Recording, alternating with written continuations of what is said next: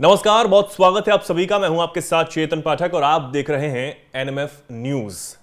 Israel और Iran के बीच जिस तरीके से मिडल ईस्ट में इस वक्त भारी संघर्ष जारी है इस ईरान के जो प्रॉक्सीज हैं, यानी कि हमास जो है, हिजबुल्ला जो है, उन्होंने इसराइल से वॉर ली हुई है और इसराइल इन्हें निपटाने में लगातार लगा हुआ है। खासतौर पर जिस तरीके से पिछले साल अक्टूबर में हमास की तरफ़ से इसराइल पर हमला किया गया, उसके बाद हमास को जड़ से खत्म कर देने की कसम जो है वो बेंजामिन नेतन्याहू, जो इसराइल के प्रधानमंत्री हैं, उन्होंने खाई थी और लगातार उस पर तब से हमला हो रहा है। अभी भी हमले हो रहे हैं और हमास को नेस्त नाबूद करने की बात जो है वो की जा रही है।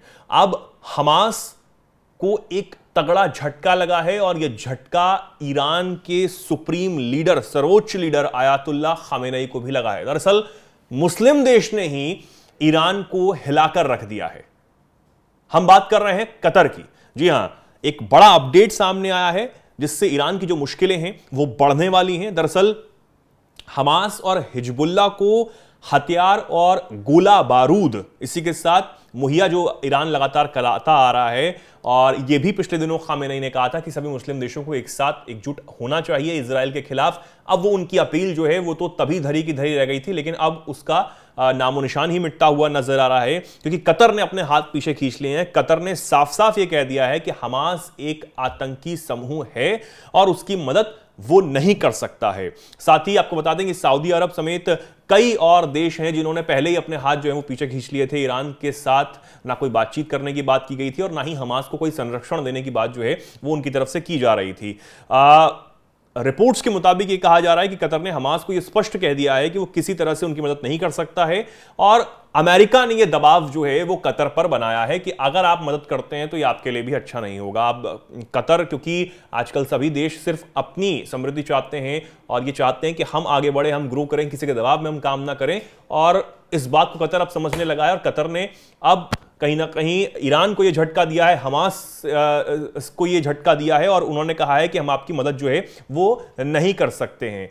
अब ये खबर सामने आने के बाद ईरान को तो झटका लगा ही है, लेकिन जो जंग इस वक्त मिडिल ईस्ट में चल रही है वो अब कहीं ना कहीं इसराइल के पक्ष में जाती हुई ज़रूर नज़र आ रही है। इसराइल जो है वो दिन ब दिन वैसे ही हावी हो चुका है और इस हावी होने के बाद और ज़्यादा चीज़ें जो हैं वो इसराइल के पक्ष में जाती हुई नज़र आ रही हैं। मिस्र हो या फिर जिस तरीके से कतर हो, इनके पीछे हटने के बाद ईरान कमज़ोर हो रहा है, हमास कमज़ोर हो रहा है हिजबुल्ला कमज़ोर हो रहा है। अब वो किस तरीके से लड़ पाएँगे? क्योंकि एक तरफ़ खामिनई मुस्लिम देशों को एकजुट होने की बात कहते हैं और एक तरफ़ कतार और कतर और मिस्र जैसे जो देश हैं, वो पीछे बैकफुट पर जाते हुए नज़र आते हैं वो ये कहते हैं कि हमें आ, हमें आपका साथ जो है वो नहीं देना है। और उन्होंने ये भी कहा कि एक आतंकी समूह है हमास, हम इसका साथ देके करेंगे कि हमारा कोई भला नहीं है, अमेरिका ने एक अलग दबाव बना रखा है। ये सबसे बड़ा संकट जो है, वो अब ईरान पर खड़ा होता हुआ नज़र आ रहा है। लेकिन अब आने वाले दिनों में क्या इसराइल जो हमले हैं, वो और ज़्यादा तेज करेगा या फिर पूरी जंग अब इसराइल के पक्ष में चली जाएगी? क्योंकि अमेरिका तो इसराइल के साथ है ही, डोनाल्ड ट्रंप वहाँ आ चुके हैं, वो इसराइल का खुला समर्थन जो है, वो भी करते हुए नज़र आएँगे। जो बाइडन है, उन्होंने तो समर्थन किया ही है। अब ईरान की चौथरफा मुश्किलें हैं।